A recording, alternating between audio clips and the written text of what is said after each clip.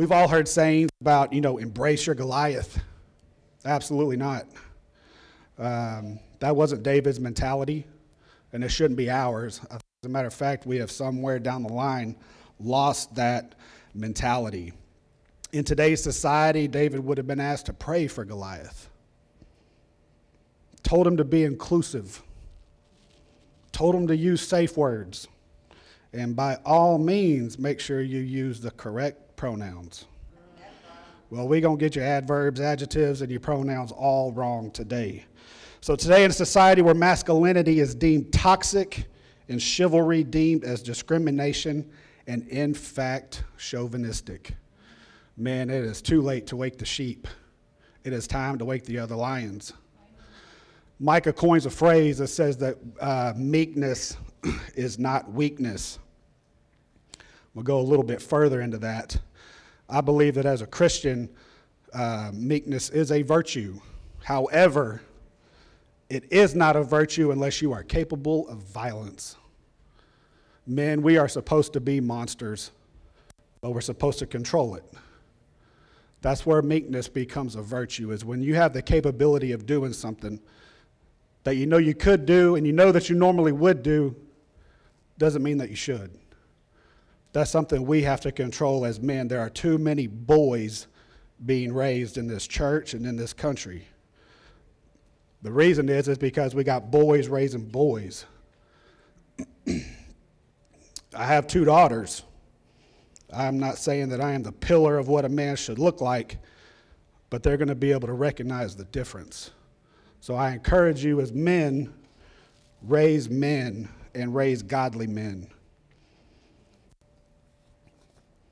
So we use this story so much as a metaphor. You know, anytime we're facing problems that we can't handle on our own, we coin the phrase facing our giants. Excuse me. Lindsay prayed for cough drops. Amen. um, I am obviously not feeling well. Um, I'll try to get you guys through this. I normally do anyway. This may be a little bit shorter than normal. And on top of that, Wednesday is warrior group. So y'all get to talk about it. And this is the second time that Harp has done this to me. So y'all can blame him for this. I think he does it on purpose. He doesn't want anything that he says be remembered, uh, especially a week later. But he's on vacation this week, so uh, we weren't praying for him. We were just praying for safe travels. Um, but anyway, so before I, when I did this message the first time, I asked my youngest, Carlin, that you know who Goliath was, you know, and she's grown up in Sunday school and church, and without a doubt, she never even skipped a beat. She said that's the the giant that David killed, and so we're going to kind of describe what this giant actually looked like. Uh, we're going to be in 1 Samuel 17. I'm not going to read it all. When you get there, shout amen. We're going to start in verse 4.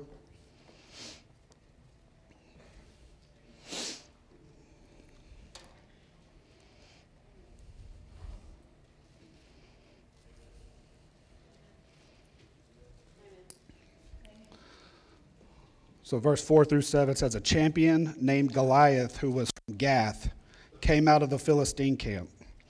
He was over six cubits and a span.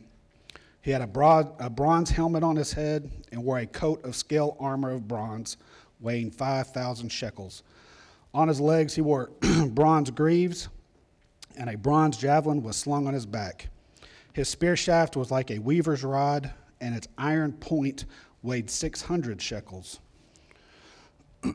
so David's Goliath was tangible. It was something that he could physically see. This man is standing right in front of him. So six cubits and a span, in some of y'all's translations, equals nine feet, nine inches tall. Bronze mail or armor, like chain mail, like knights used to wear, weighed 5,000 shekels, which equals about 125 pounds. The tip of his spear alone, 600 shekels, equals 15 pounds. Y'all, that's a bowling ball.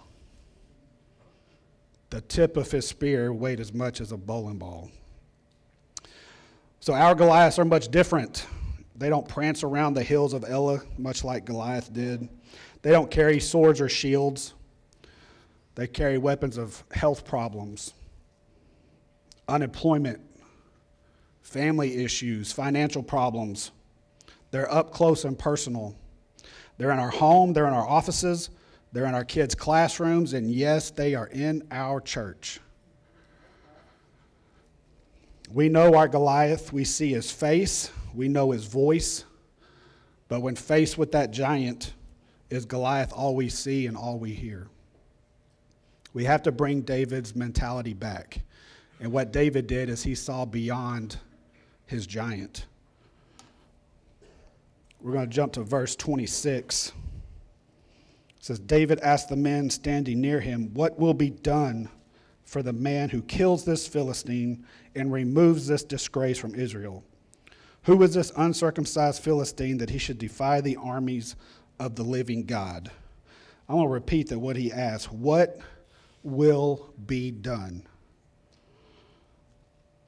So, in the verse prior to that, we know that there is a reward. I mean, verse 25 clearly tells us that. It says, Now the Israelites had been saying, You see how this man keeps coming out. He comes out to defy Israel. The king will give great wealth to the man who kills him. He will also give him his daughter in marriage and will exempt his father's family from taxes in Israel.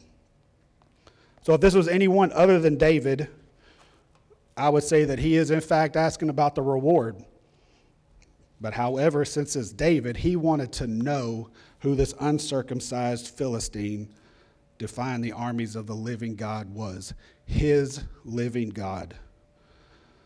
Here's another phrase that Harp so eloquently coined around here. It says, David doesn't show up with confidence, he shows up with Godfidence. And the reason he could do that, we'll jump down to verse 45 through 47. It says, David said to the Philistine, You come against me with sword and spear and javelin, but I come against you in the name of the Lord, Almighty, the God of the armies of Israel, whom you have defied. This day the Lord will hand you over to me, and I'll strike you down and cut off your head. Today I will give the carcasses of the Philistine army to the birds of the air and the beasts of the earth and the whole world will know there is a God in Israel. All those gathered here will know that it was not by sword or spear that the Lord saves, but the battle is the Lord's, and he will give all of you into our hands. We are never alone. David knew he wasn't alone. Our giants, however, ultimately, if you don't face them, they will overcome us. We know we don't have to face them alone, but our focus has to be on God, plain and simple. So when we look back on this passage, that's exactly where David's focus was. So, first, I want you to think about how much he dwelled on Goliath. Only two times is Goliath mentioned, and it's not even by name. So, in verse 26, it says, David asked the men standing near him, What will be done for the man who kills this Philistine? Down in 36 says, Your servant has killed both the lion and the bear. This uncircumcised Philistine will be like one of them because he has defied the armies of the living God.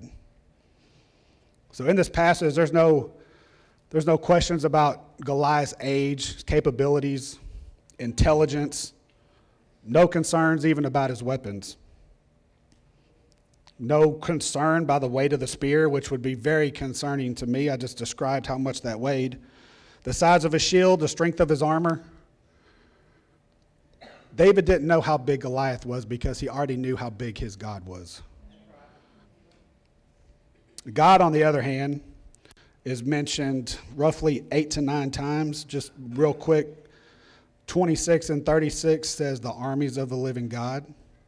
Verse 45 says, The Lord Almighty, the God of, God of the armies of Israel.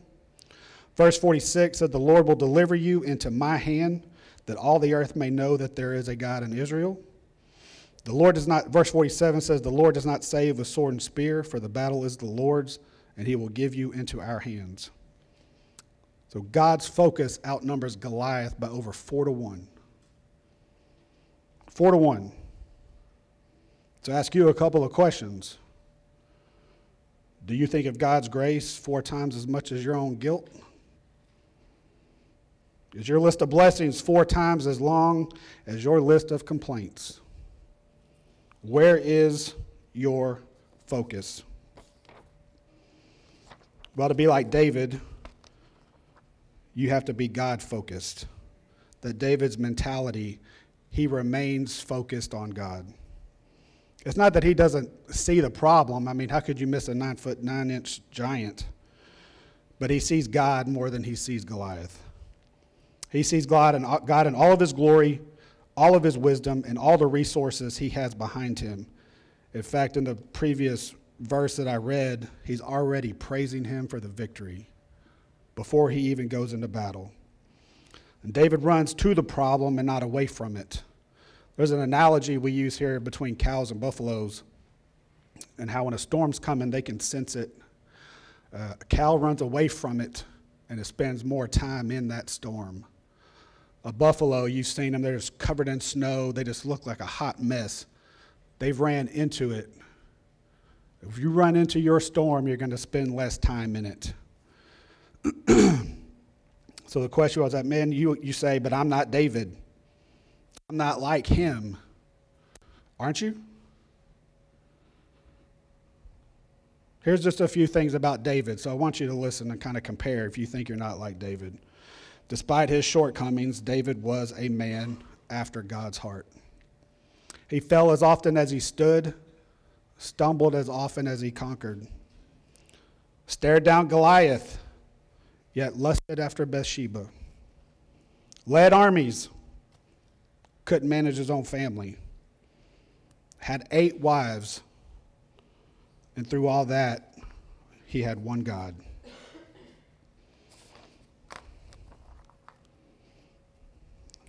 Again, some of you may say, but I'm not David.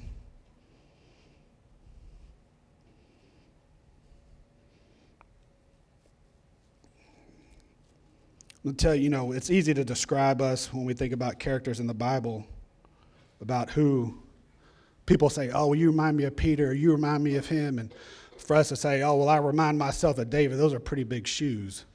Um, I don't compare myself to King David. I compare, there's a, a story in Scripture where David's wife is sitting up in the window looking out at him, and she sees him dance around the street naked. Not, that's not where I'm going with this here. but that perception, his wife is basically like, man, look at this fool. But what she doesn't know is that he's praising God. Yeah, he's naked and he's in the middle of the street, but he's praising God. Sometimes your vulnerability is just that you're naked and you're praising God because that's all you can do. And other people look at you like, man, dude is crazy. That's a fact. That's a fact. Uh, so I've told you a little bit about David. Um, I'll tell you a little about me for a minute. I'll get to you here in a second. Uh, if you're a guest here with us, uh, I'm going to show you just a brief glimpse into what church leadership looks like here. Uh, so some of my Goliaths were grades I couldn't make, bills I couldn't pay, and people I couldn't please. I'm talking about me, remember, I haven't got to you yet. Drinks I shouldn't have drank, drugs I shouldn't have taken, women I shouldn't have chased, bars I shouldn't have closed down, which led to a failed marriage. I'm talking about me, remember, I haven't got to you yet a pastor that hurt me, a church that denied me, pornography. I'm talking about me. I'll get to you in a minute. Fear, doubt, worry, anxiety, depression. I haven't even got to you yet. All this because I had a past I couldn't escape, which led to a future that I didn't want to face. Some of you say, man, you've done all that, you're not qualified. You are 100% right. I'd agree with you.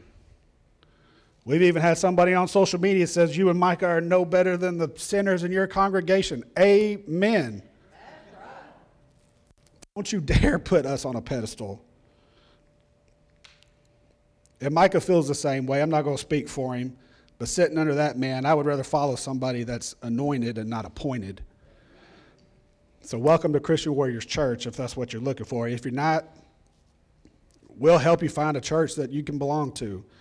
Um, me, a little personal story about I can tell you the day, the place, the time when God Himself reached into my chest and sewed up my broken heart. Matter of fact, me and uh, Leroy gave a message on a Wednesday night that was called uh, Head Knowledge versus Heart Knowledge. How he and I started off on very different paths, where he had the head knowledge. It was nine years ago that I finally surrendered to Christ. And even though our path started off different, we met at the same place.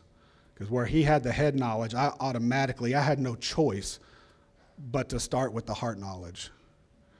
Once you get to that point, your life has to change. You have no choice. Paul couldn't go back to being Saul even if he wanted to. We have to get to there. So now, let's talk about you. Oh. You can participate if you want. I don't care. I'm going to say what I'm going to say anyway. How many of you have experienced just one of those things that I mentioned? Look around. Look around. And some of you think God can't use you. Some of you have told yourself that. For some of you, you are your own Goliath. Goliath is anything that prevents us from walking out God's will in our lives. David needed Goliath. If it wasn't for Goliath, David still be herding sheep. So when you're faced with your Goliath, you don't reason with it. This is what people don't talk about. We're going to finish out in verse 51. It says, David ran and stood over him. Says he took out the Philistine's sword. He took his own sword, drew it from the scabbard, after he killed him, he cut off his head. You don't reason with it, you kill it. You cut off his head. so there's four little things that I kind of, they're not takeaways yet. Um, I do want to mention a couple of things. Is, is Goliath, your Goliath, our Goliath can be found anywhere at home, lurking on the internet, hiding in a bottle sitting at a desk next to you, laying in the bed next to you. You can conquer your Goliath, and you don't need five stones like Scripture said. You just need one. That stone has a name, and his name is Jesus. He is there to lift you up, support you, and carry you through things that you can't walk through by yourself. Some of you are going through a situation where you can find no good. You can't find the good in the physical. You have to go into the spiritual. I always, I always miss Don's not here, so I can run him over with the bus. I always mess with Don when he starts talking about the spiritual world, and I think of Young Guns when Chavez gives them all peyote. Y'all know what I'm talking about? And Billy the Kid asks him, he's like, why ain't they trying to kill us? And he goes, Because we're in the spirit world, butthole that can't see us. you have to go there. You have to get to that place. In my earthly mind, you can wrap your head around no good. I'm obviously walking through something. There's actually several of us walking through that right now. Um, there's good that I can't see in the physical realm. So if you're going through something similar, I got a question, maybe even just a statement. Maybe you're the good that God's trying to show other people. Maybe God's trying to shine through you. See, no one pays attention to the warrior until the enemy's at the gate. And then it's all eyes on you. They want to see what your demeanor is. They want to see what you're thinking. They want to know where you're at, where you stand. God gives his toughest battles to his strongest soldiers. He's going to send you through hell just so you can get to heaven. So, in those moments, do you have a tribe that you can reach out to? Do you have a church? Do you have a group of people that are going to pray for you even when they don't know what it is they're praying for? If you don't have that, it's time to find it. Jesus himself fell down carrying his own cross.